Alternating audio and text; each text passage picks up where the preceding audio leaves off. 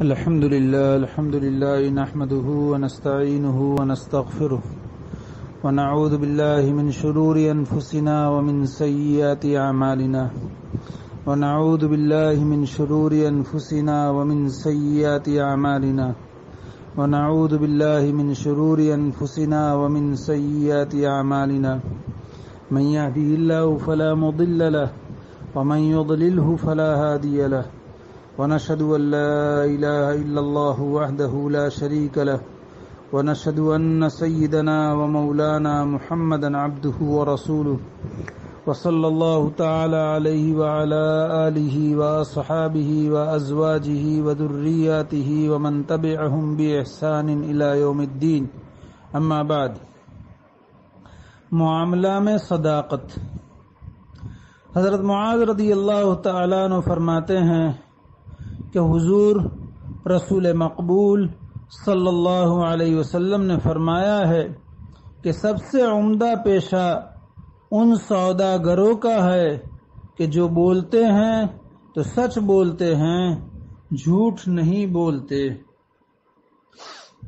और अगर उनके पास अमानत रखवाई जाए तो खयानत नहीं करते। और जब वादा करते हैं तो उस वादे के खिलाफ कभी नहीं करते।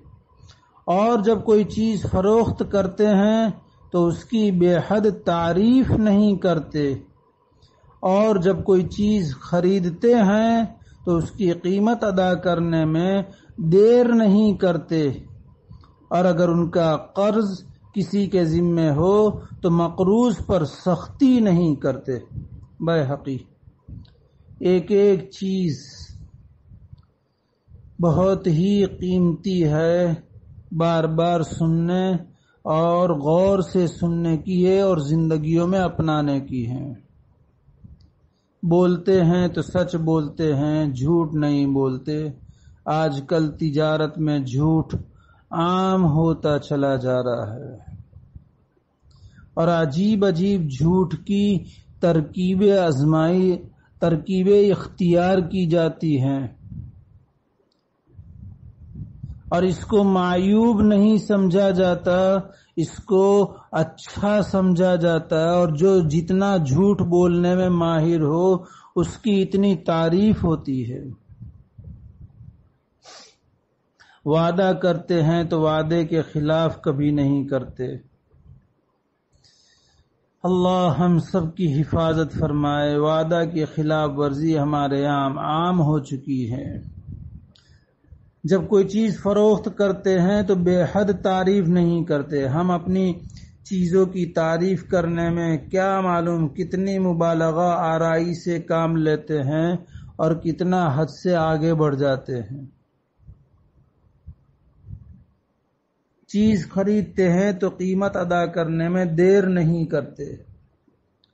हम लोगों के यहाँ इसमें भी कोताही है। और कर्ज किसी के जिम्मे हो तो मकरूज पर सख्ती नहीं करते। अल्लाह उम्मत के मुआशरे को इस पर ले आए। अपने फजल से, करम से और एहसान से, आमीन। हलाल रोजी की तलाश।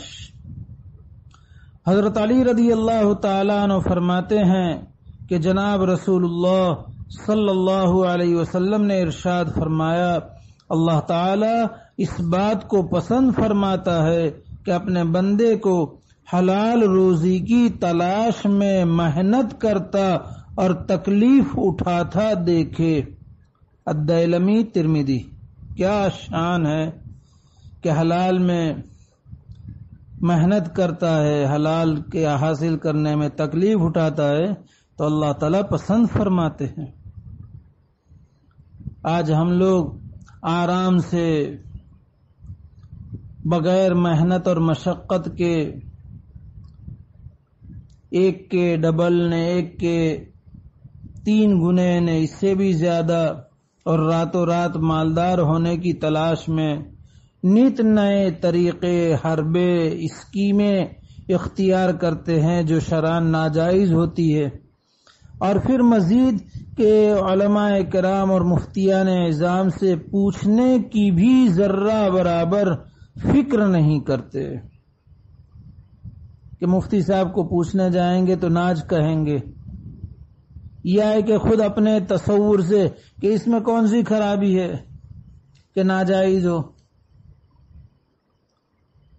इसलिए हलाल, जिसमें जर्रा बराबर कोई शक, शुबा ना हो तय्यब हो।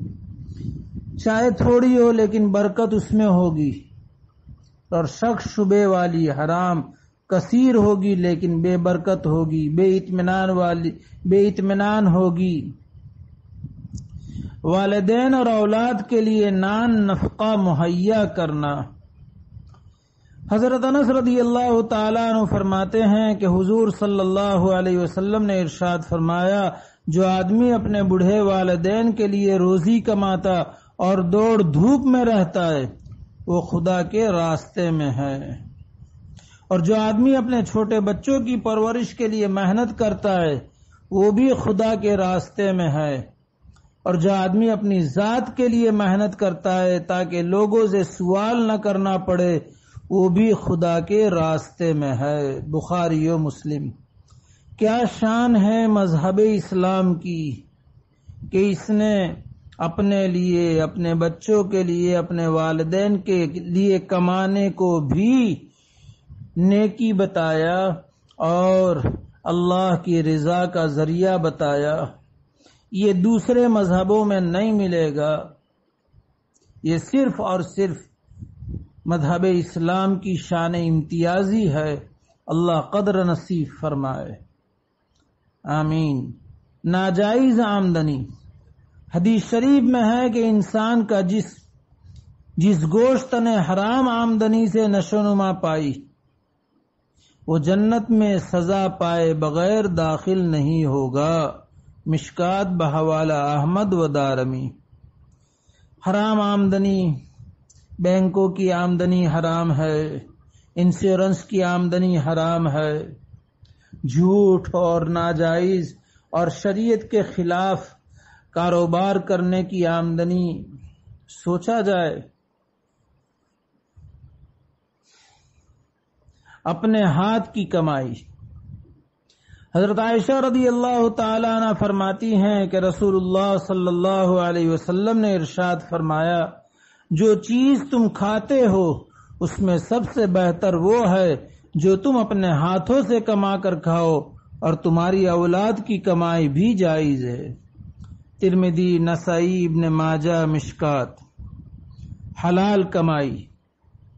हज़रत अब्दुल्ला इब्न मसऊद रदी अल्लाह ने फरमाया कि रसूलुल्लाह सल्लल्लाहु अलैहि वसल्लम ने इरशाद फरमाया कि पाक व हलाल कमाई फ़र्ज़ है।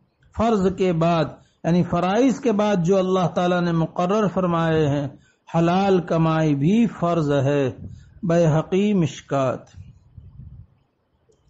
लेकिन औरतें फिर बाहर ना निकले कि हम भी अपने हाथ की कमाई से खाएँगे, हलाल कमाई फ़र्ज़ है।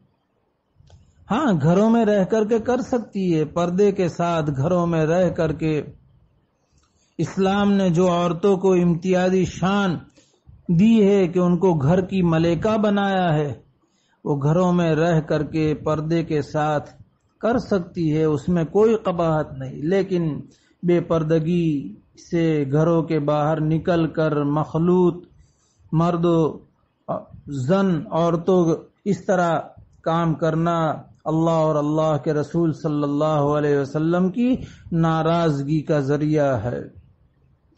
तलाश रिस्क का वक्त।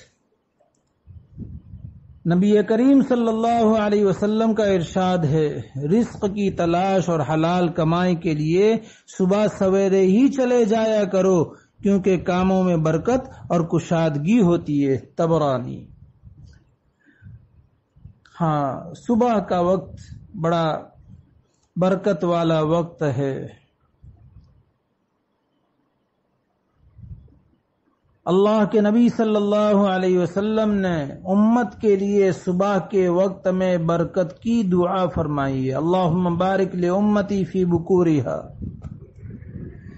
चुनाचे साहब कराम सुबह के वक्त काम करते थे। एक सहाबी सुबह के वक्त ही अपने तिजारत का सामान भेजा करते थे। वो इतने मालदार हुए, इतने मालदार हुए कि दूसरे साहबा उनको शिरकत के लिए दरख्वास्त देते थे कि तुम्हारे कारोबार में हमको शरीक करो।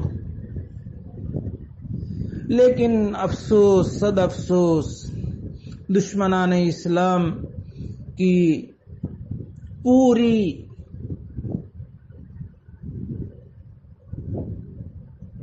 तदबीर, पूरी तालीम, पूरी तरकीब इस्लामी तहजीब और तमद्दन को ख़त्म करने की और कुछ इस तहजीब से मुतासर होकर नफसानियत, शैतनत से आलूदगी के वजह से हम अपने इस नूरानी और बरकत वाले वक्त को गफलत में खो देते हैं और सोने में लगा देते हैं। अल्लामा शामी रहमान ने इशराक से पहले सोने को मकरूह लिखा है। और हमारे अकाबिर का और मशाइक का हम लोगों ने बहुत मुशाहदा किया, देखा कि कभी भी वो लोग सोते नहीं है सुबह के वक्त, इशराक से पहले तो हरगिज नहीं। इसलिए उम्मत को समझना चाहिए और रात को जल्दी सो करके सुबह को जल्दी उठने का अपना मामूल और इस्लामी तहजीब और कल्चर को कल्चर को अपनाना चाहिए। और हमें यकीन रखना चाहिए कि नबी अकरम सल्लल्लाहु अलैहि वसल्लम ने बरकत की दुआ दी है तो यकीनन बरकत होगी कि बाज़ार नहीं खुलता, क्या करेंगे दुकान खोल करके। अल्लाह के रसूल सल्लल्लाहु अलैहि वसल्लम के इरशादात में जर्रा बराबर खिलाफ नहीं हो सकता है। अल्लाह ताला आप सल्लल्लाहु अलैहि वसल्लम की इन पाकिज़ा तालीमात पर अमल करने की तौफीक अता फरमाए, आसान फरमाए, मदद फरमाए, अल्लाह ताला इस कहने सुनने को कबूल फरमाए।